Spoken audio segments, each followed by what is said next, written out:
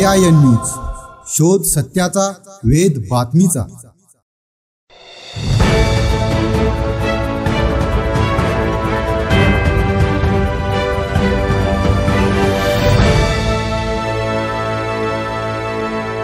पैठण तालुक्यातील दादेगाव हजारे येथे गावालगत असलेल्या नदीच्या पाण्यात पाय घसरून पडल्याने एका अठ्याहत्तर वर्षीय वृद्धेचे निधन झाले आहे. दादेगाव लगत असलेल्या नदीच्या पाण्यात पाय घसरून एका अठ्याहत्तर वर्षीय वृद्ध महिलेचा पाण्यात बुडून मृत्यू झाल्याची घटना पैठण येथे उघडकीस आली. चंद्रभागाबाई संताराम गोरे वय अठ्याहत्तर असे मृत्यू झालेल्या वृद्धेचे नाव आहे. पैठण तालुक्यातील दादेगाव बुद्रुक येथील चंद्रभागाबाई गोरे या सकाळी दहाच्या दरम्यान शौचालयासाठी बाहेर गेल्या होत्या. जाऊन एक तास उलटला तरीही घरी परत न आल्याने नातवाने त्यांना नदीकाठी जाऊन त्यांचा शोध घेतला असता नदीवर त्यांच्याकडील काही वस्तू तिथे दिसून आल्यावर त्याने तात्काळ या गोष्टीची माहिती गावातील अनिल हजारे भाऊसाहेब गोरे देवीदास हजारे प्रल्हाद घाळ अशोक गोरे शहाजी झिने राम हजारे यांना कळविली. त्यांनी तात्काळ घटनास्थळी धाव घेऊन चंद्रभागाबाई गोरे यांच्या घटनेविषयी बीट जमादार किशोर शिंदे पोलीस नाईक रवींद्र आंबेकर यांना दिली. त्यांनी तात्काळ घटनास्थळी धाव घेऊन पंचनामा करून गावकऱ्यांच्या मदतीने